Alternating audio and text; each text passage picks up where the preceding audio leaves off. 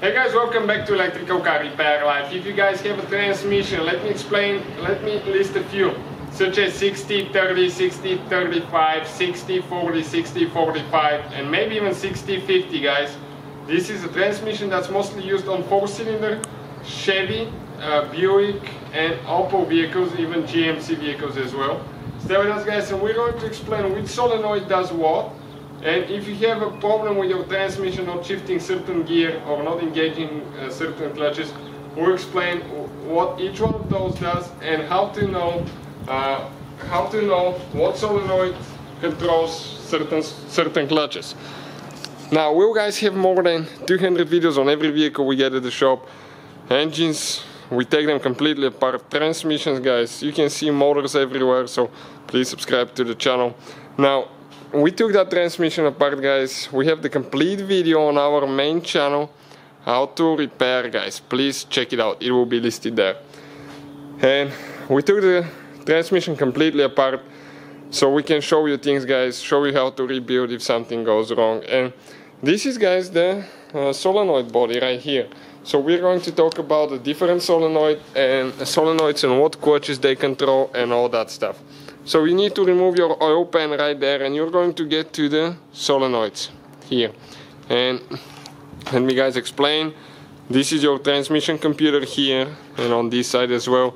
These are the solenoids and the computer controls which solenoid to open and that way the oil will flow through a certain passage and it will send oil okay to the certain clutches and the clutches will be activated and the transmission will start working. So now let me guys show you okay uh, first what we'll be doing. Now this guys is generation 2 transmission. Generation 1 usually it has only black solenoids and uh, you can check it by the number okay on your transmission computer right here if you have gen 1 or gen 2 check out the video guys. We have it on the channel that explains how to do that.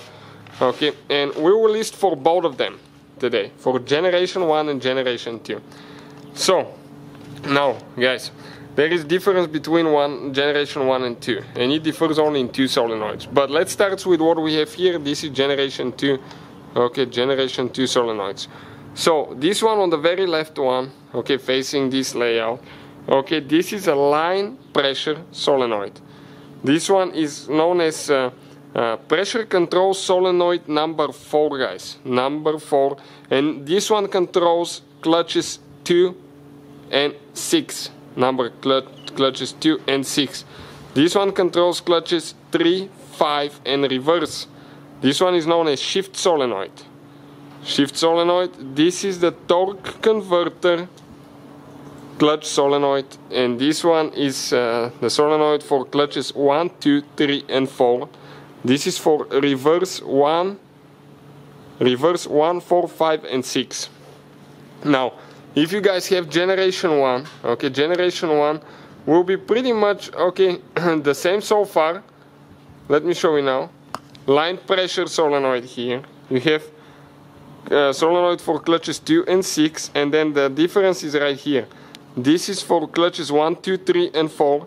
This one will be still shift solenoid. This is still the torque converter uh, clutch solenoid but this one is for clutches 3 5 and reverse and the last one will be for reverse 1 4 5 and 6 so pretty much okay on generation 1 and 2 this one and this one right here they will be switched guys but now you know how to know which solenoid is uh, for what and we have a video that explains how to test them so please check it out. Thank you guys for watching. Please subscribe to the channel and see you guys next time